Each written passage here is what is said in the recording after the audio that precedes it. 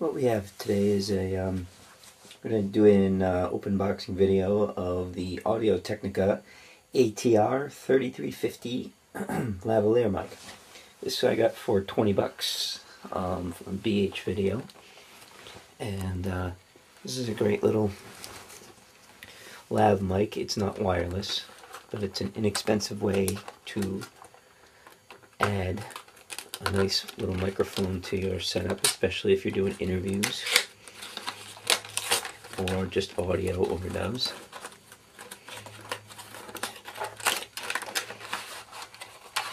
I plan on using this in conjunction with a um, external recorder, uh, Tascam DR100, uh, along with our T3i. So that's what we're eventually going to use this for. So. So basically you get your manual, you get a very long cable, it's 20 feet. Uh, you get a battery, you get your tie uh, clip on to clip it onto your clothes. You get a nice on off switch and you install your battery in the capsule here.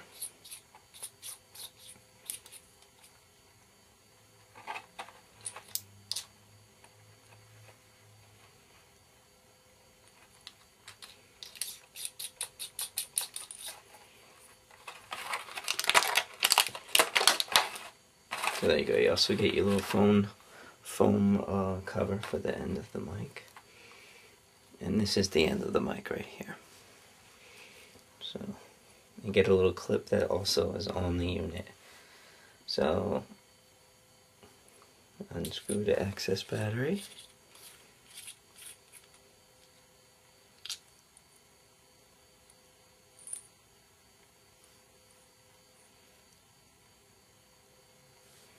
And there you go.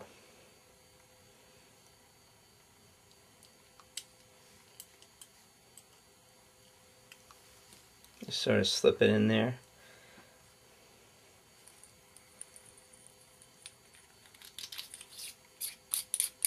And seal it back up.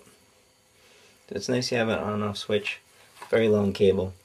Uh, you get your clip and your screen uh, foam windscreen that can go on the end. So you can also it's recommended to buy extra foam screens because they tear easy or you lose them. And this is a very budget-friendly microphone if you're looking for a lav mic for without too much money. You don't need to be wireless. If you don't need to be wireless, this is a very good choice. Um, but I would highly recommend using it along with a separate audio recorder like a Zoom H4n uh, or uh, Tascam uh, flash recorder.